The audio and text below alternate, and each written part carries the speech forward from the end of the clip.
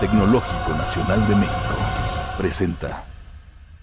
Ya que siendo la ciencia un edificio, tenemos que construir cualquier edificio sobre un buen cimiento.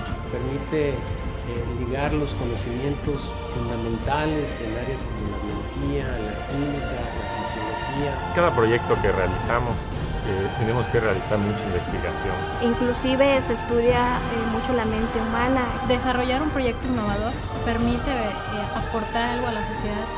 No creo que pueda existir ciencia aplicada sin ciencia básica. Seríamos unos usuarios de algo y no los creadores de, de la ciencia. ¿Te has preguntado cómo fue que se ha ido descubriendo y describiendo el universo que nos rodea? ¿O cómo es que esos conocimientos han impactado en el desarrollo de nuevas tecnologías?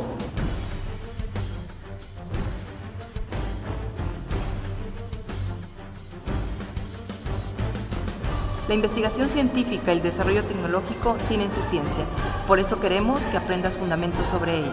Queremos que puedas reconocer los tipos básicos de una investigación, como por ejemplo investigación cualitativa o la experimental, los límites entre ciencia básica y aplicada el desarrollo tecnológico.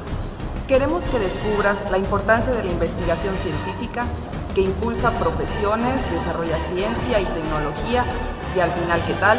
Un día entres al fascinante mundo de la investigación.